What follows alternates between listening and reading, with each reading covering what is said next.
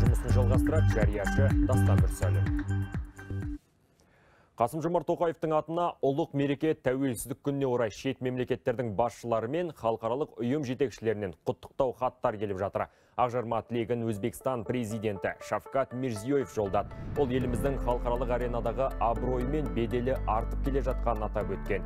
Қырғызстан президенті Садыр Жапаров жаңа Қазақстан құру жолындағы қолға алынған жұмыстарды жоғары бағалайтын жеткізген. Тәжікстан президенті Эмомали Рахмон барша қазақ халқына бейбітшілік және бақ береке тілеген. Ал Түркменстан президенті Сердар Бердімұхамедов халықтарымызды ғасырлар бойғы достықпен тату көршілік байланыстыратынын атап өткен. Құттықтау жеделхатын біріккен араб әмірліктері, Сауд Арабиясы, Индонезия, Хорватия және басқа да мемлекеттердің басшылары жолдады.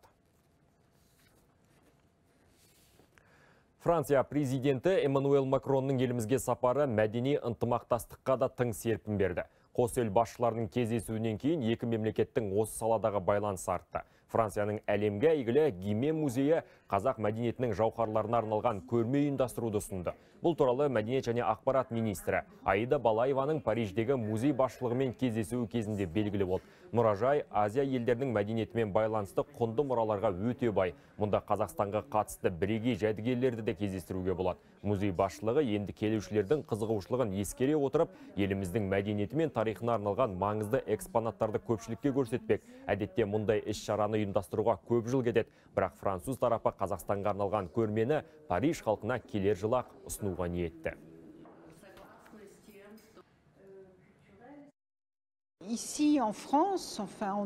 Европа халықтары әсіресе француздар кезінде ұлы жібек жолының бір бөлігі болған бұл аймақтың маңыздылығын енді түсініп жатыр.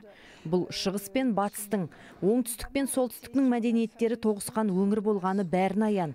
Міне осы себепті Қазақстанның әлем тарихындағы айшықты орны туралы дәріптеп, жұртты онымен таныстыру өте маңызды. Бүгін мерекеге орай алматылықтар ел егемендігінің символы тәуелсіздік монументіне гүл қойды. Салтанатты шараға қала әкімі Ерболат Досаев соғыс ардагерлері мен желтоқсаншылар қатысты. Алматы облыстық гарнизонының әскери қызметшілері республика алаңынан салтанатты түрде жүріп өтті. Содан кейін желтоқсан құрбандарын бір минуттық үнсіздікпен еске алды. Жиын соңында Алматы облыстық гарнизонының әскери үрмелі аспаптар оркестрі мен сарбаздар мемлекеттік әнұранды орындады. Бүкіл қазақстандықтарды бүкіл қазақ жұртын басқа да ұлттардың бәрін бәрі бүгінгі тәуелсіздік мерекесімен мен құттықтаймын. Осында келіп бүгін бас иіп қол жайған құран оқып қол жайғандардың бәріне алғысымды білдіремін. Мына жастар көбірек келсе екен осы алаңға келіп қолдарын жайып сол өмірден өтіп кеткен боздақтарды еске алу бізде ұмытылмаса екен. Желтоқсан оқиғасына сол кездегі Жезқазған облысынан қатысқан адамдардың нақты саны белгісіз. Анығы 30-ға тарта азамат қуғынға ұшырады. Бірнешеуі темір торға қамалды. Солардың бірі ұлытаулық Дүйсенбек Байболов. 5 жыл өмірін түрмеде өткізген азамат Желтоқсан оқиғасының әлі де ашылмаған құпиялары көп дейді. Оған бір ғана дәлелі жазықсыз жаламен бүлікші атанған қаншама желтоқсаншы әлі күнге ақталмай келеді. Дүйсенбек Байболов желтоқсан оқиғасы кезінде Алматы байланыс техникумының екінші курсында оқитын. Азаттық үшін алаңға барған ол сақшылардың фото тұзағына ілігіп қалған. Бір жарым ай тергеуден соң 5 жыл жаза кесті. Ұлттың намысы үшін басын бәйгеге тіккен азаматқа тәртіпсіздік ұйымдастырды деген айып тағылды. түнде тергейді күндіз тергейді сол бір сарын әңгіме не үшін шықтың қандай мақсат қонаев сенің кімің еді қонаевтың сен жырын жырлайтын кімсің деген әңгіме неше түрлі алып қашпа сөздер мен айтамын мен қонаевтың туысы болсам зачем мен оқимын мұнда диплом и так өзі келеді ғой Жаза мерзімі аяқталуға жарты жыл қалғанда президент жарлығымен босап шықты. Бірақ үш жылға дейін ауылдан аттап шығуға тыйым салынды. Соның кесірінен оқуды да жалғастыра алмады. Сотталғансың деп еш жер жұмысқа да қабылдамаған. жұмысты ол өзіңнің туысың да жолдасың да теріс қарап кеткен күндер болды ғой мен өйткені халық жауымын ғой үкіметке қарсы шығып тұрмын статьям ауыр статьям алпыс алпыс бес от звонка до звонка дейді бұрынғы сәкен сейфуллин бейімбет майлиндердің сияқты халық жауымыз Желтоқсан айы басталса жүрегім аузыма тығылып өзімді жайсыз сезінемін дейді ол. Себебі арада қанша жыл өтсе де желтоқсан салған жара жазылмақ емес. Дүйсенбек Байболұлы ешқашан естен шығармайтын бір дата бар. Ол Қонаевтың туған күні. он екінші январьды мен өмірі білмеймін да ғой мысалы қонаевтың туған күні сол қатты есімде қалып қойды өлердей таяқ жедім. Сізге өтірік маған айтуға шамам келмейді. Фамилиямды айта алмай қалдым мен. Екі күн тұра алмай жаттым. Бет ауызды қойшы ішкі құрылысты бітірді ғой. Желтоқсан оқиғасы жастық шағын ұрлады. Ауыр соққының салдарынан бір көзінен айырылды. Сынған қабырғамен қол аяқта ақырындап сыр беріп жүр. Дегенмен қайсар азамат өткенге өкінбейді. Жұртының жоғын жоқтаймын деп жазалы болған жігіт ағасын бүгінде елі алақанына салып аялап отыр. Былтыр ұлытаудың құрметті азамат атанды. Он жылдан бері дүйсенбек бай болып жүлдесіне арналып күрестен аудандық турнир өтіп келеді. Елдос кәкенов нұрбол үздікбаев гүлшахира серікбаева 24 кз ұлытау облысынан.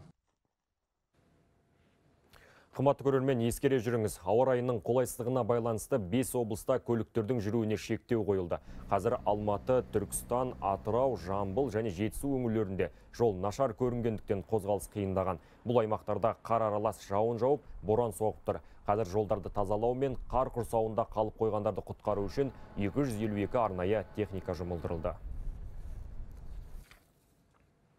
Ал Түркістан және Жамбыл облыстарының автожолдарындағы авариялық құтқару жұмыстары аяқталды. Қабылданған шаралардың арқасында қар құрсауында қалған автокөліктерден 5 мыңнан астам адам эвакуацияланды. Қазіргі уақытта Жамбыл, Түркістан, Абай және Жетісу облыстарындағы республикалық маңызы бар жолдардың 5 учаскесінде және облыстық маңызы бар жолдардың 4 учаскесінде автокөліктің барлық түрлері үшін қозғалыс жабық.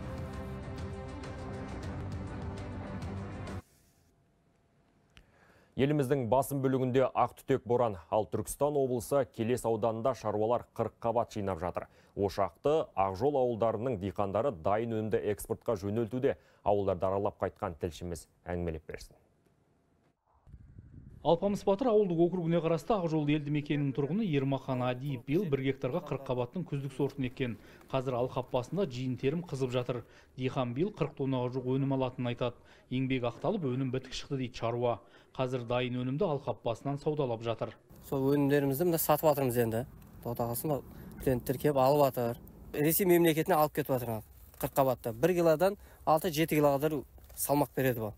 Шыдамды, суыққа да төзімді урожайы жақсы биыл жұмысшылар өзіміздің ауылдың тұрғылықты жерлерінің адамдары ғой күнде жеті мыңнан төлейміз адам басына он бес жиырма адам келеді істеп артып береді жұмысты ал ошақты ауылындағы айкен шаруа қожалығы үш гектар аумаққа қырық қабаттың бухарест сортын егіп бір жүз жиырма тонна өнім жинау жоспарлап отыр.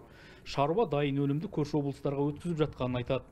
Жалпы биыл түркістан облысының шаруалары тоғыз мың бір жүз гектар аумаққа орам жапырақ еккен. Өңірдің климаттық ерекшелігіне қарай ерте пісетін қабаттан 187 тонна ал кеш пісетін дақылдан 137 мың тонна өнім алуда. Жалпы 320 мың тонна өнім жинау жоспарланып отыр. Жалпы облыста бүгінгі таңдағы қабат 60-100 теңге теңгеден килограммнан саудалануда. Бізде 51 мың тонна қабат өнімі жеткілікті. Облыс халқына ал қалған артық артылған бөліктері басқа облыстарға және көрші мемлекеттерге экспортталады. Бүгінгі таңдағы біздегі ақпаратқа сәйкес 60 мың тонна қабат өнімі ресей өзбекстан латвия мемлекеттеріне экспортталған. Өңірде қабат егушілерге мемлекет тарапынан қолдау көрсетіледі. Қолданылған тыңайтқыштың елу пайызы субсидияланады. Жанар жағармай жеңілдетілген бағамен беріледі. Бұл өңірдегі шаруалардың мол өнім алып табысқа кенелуіне үлкен мүмкіндік туғызып отыр. Жандос жұмабек ерболат әбіш қуаныш әбуов 24 кз түркістан облысы. Маңғыстауда үш бірдей кен орнын жобалау жұмыстары аяқталды. Соның біріне келер жылы теңіз платформаларын салу жоспарланып отыр. Қаламқас теңіз кен орны жылына 4 миллион тонна мұнай өндіруге мүмкіндік береді. Шалғайдағы өңірде мұндай жобалар алғаш рет жүзеге асып жатыр. Құрылысы кезінде 2000 жұмыс орны құрылмақ. Ақтаудан тілшіміз Талғат Исламлы баяндайды. Маңғыстаудың қазба байлықтары картасында Қаламқас теңіз, Хазар және Әуезов кен орындары пайда болды. Инвестициялық жобалар өңірдің ғана емес, Қазақстанның экономикалық әлеуетін арттыруға сүбелі үлесін қосады. Оларды қазақстандық және шетелдік инвесторлар жүзеге асыруда. Қаламқас теңіз жобасы аясында 300 адам жұмыс қалынады. Кен орнында 81 миллион тонна мұнай қоры бар. Каспийден 64 шақырым жерде металл конструкциялардан теңіз платформалар салынады. Проект очень важный Поэтому прошу отнестись с большой ответственностью. Жоба еліміз үшін аса маңызды. Оған үлкен жауапкершілікпен қарауды сұраймын. Мемлекет басшысы ел экономикасына инвестициялар тарту жөніндегі жұмыс тиімділігін жақсарту шаралары туралы жарлыққа қол қойғанын білесіздер. Осы жобаларға біліктілігі жоғары жергілікті мамандарды тартуға қосымша даярлау үшін барлық жағдай жасайтын боламыз. Қаламқас теңіз хазар және әуезов кеніштерін игеру жөніндегі жоба шеңберінде 6 миллиард ақш доллары көлемінде тікелей инвестиция тарту көзделіп отыр. Оған стратегиялық серіктес ретінде ресейдің мұнай компаниясы қатысады. Огромный проект. Бұл жобалардың ауқымы кең. Олардың құрылысы кезінде мыңдаған жұмыс орны құрылады. Жоспар бойынша жаңа кен орындары 2028 жылдың төртінші тоқсанында немесе 2029 жылдың бірінші тоқсанында өз жұмысын бастайды деп күтіледі. Осылайша таяу жылдары маңғыстауда ашылатын жаңа кәсіпорындар өңір әлеуетін арттырып жұмыссыздықпен күреске тың серпін бермек. Айта кету керек инвест жобаларды жүзеге асыру кезінде еліміздің экологиялық заңнама талаптарының бұзылмауы ерекше назарда ұсталады. Талғат исламұлы саламат бекбаев маңғыстау облысы 24 кз Ұлытау еліміздегі урбанизация деңгейі ең жоғары облыс. Халқының 80 пайызы қалада тұрады. Соның кесірінен кейбір ауылдарда мектептер жабылып жатыр. Биыл тағы бір білім ұясының есігіне қара құлы білінді. Бұл олқылықтың орнын оңтүстіктен солтүстікке бағдарламасы толтыру тиіс. Жоба қалай жүзеге асып жатыр? Әріптесім Елдос Кәкеновтен білейік. Шымкенттен жезді кентіне қоныс аударған бәкеновтер отбасының бүгінде тұрмысы түзу. Отағасы медет бәкенов өндірісте еңбек етсе оның жолдасы мектепте мұғалім. Мемлекет төрт бөлмелі үймен қоса отбасының әр мүшесіне 241 мың теңгеден бір жолғы көмек берген.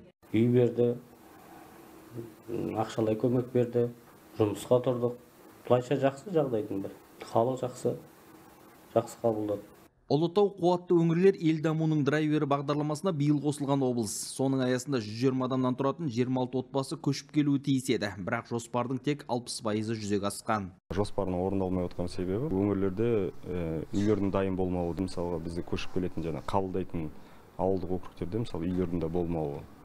Сондықтан облыс әкімі аудан әкімдеріне тапсырма берген болатын дайын тұрған үйлерді сатып алып немесе бюджет есебінен үй салып беру туралы. Биыл қоныс аударған бес отбасыға баспана сатып алуға 18 миллион теңге берілді. Бағдарлама келер жылда жалғасады. 32 отбасыға квота бөлінген. Олар тұрғын саны аз ауылдарға қоныс тебеді себебі оқушы тапшылығынан мектептер жабылу алдында тұр. Осыған байланысты келер жылы екі білім ошағы қайта құрылымдалады. Сол жаңаарқа ауданының байұл станциясындағы бастауыш мектепте бес бала отыр. Бірақ мектепке дейінгі бала саны биыл төртінші сыныпты бітіріп кететін балалардан кейін орны толығатын болжам жоқ. Сондықтан бұл мектепті де жабып жауып сол жердегі қалатын үш баланы мынау жаңарқа кентіндегі интернатқа орналастыру жоспарланып отыр. Урбанизация теріскей өңірлерге тән. Қазір солтүстік қазақстан облысында алты ауыл бос тұр. Аймақта 2017-2019 жылдар аралығында 33 елді мекен жабылған. Биыл түстіктен 2460 адам ал өзге мемлекеттерден 183 қандас көшіп келді. Дегенмен де аймаққа әлі 5 мыңнан астам маман жетіспейді. Бізде 153 елді мекен бекітілген. Яғни олардың инфраструктуралары яғни орташа және жоғары деңгейде. Ешқандай инфрақұрылымдық жасалмаған болса яғни ол ауылдарға көшірілмейді. Өйткені ол бірінші кезекте ол отбасылардың балалары болады дегендей мектепке орналастыру өздеріне жұмысқа орналасу және де қыс мезгілінде жол болмауы да мүмкін. Мамандар урбанизация бәсеңдемейді деген болжам айтады. Елсіз қалған ауылдарға халықты қоныстандыруға жалғыз көші қон жобасы жеткіліксіз. Мәселе инфрақұрылымды жетілдіруде. Ауыл халқының қалаға ағылуының басты себебі жайлы тұрмыс қана. Елдос кәкенов самат қайырденұлы 24 kz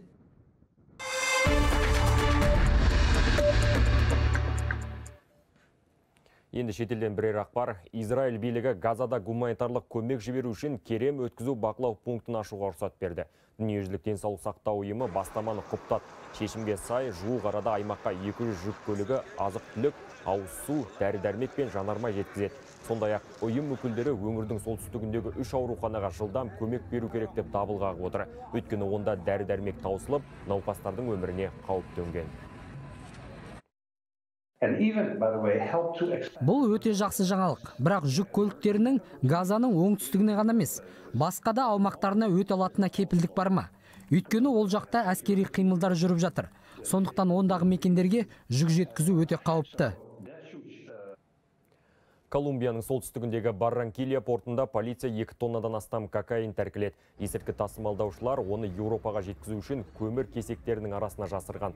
Құзырлы органның мәліметінше мұхит аспақ болған заңсыз жүктің құны 11 миллион долларға жуықтайды. Колумбияда ұйымдасқан қылмыстық топтар есірткі заттарын шетелге осы жолмен жиі тасымалдайды. Жыл басынан кокаинді кофе, жемшидек, тіпті консервіленген балық арасына тығып алып өтпек болған.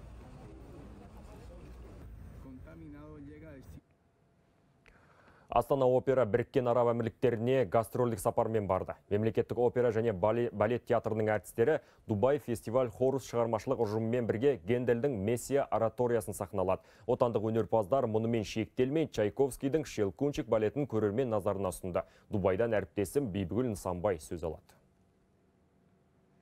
Арабтардың дәстүрлі доу атты қайығына ұқсатып салынған бұл Дубай опера. Жеті жыл бұрын Пласида Доминго алғаш опера орындап ашып берген. Содан бері бұл театр сахнасында әлемнің кіл мықтылары өнер көрсетеді. Бүгін Дубай көрермендері қазақстандық балет тамашаламаққа асықты. Астана операның Дубайда бұл алғаш рет өнер көрсетуі. Қазақстандық балет труппасы хореограф Юрий Григоровичтің қойылымдағы Петр Чайковскийдің Шелкунчик балетін ұсынды. Маридің партиясына Әйгерім Бекетаева, Мадина Өнербаева және солист Шұғыла Әдепхан орындап шықты. Шелкунчик ханзада рөлінде Бақтияр Адамжан, Еркін Рахметуллаев және Данияр Жұматаев. Қазақ өнерпаздары Дубай сахнасына жан бітірді. Әрбір картина өткен сайын доғал шапалақпен қошеметтеп жатыр.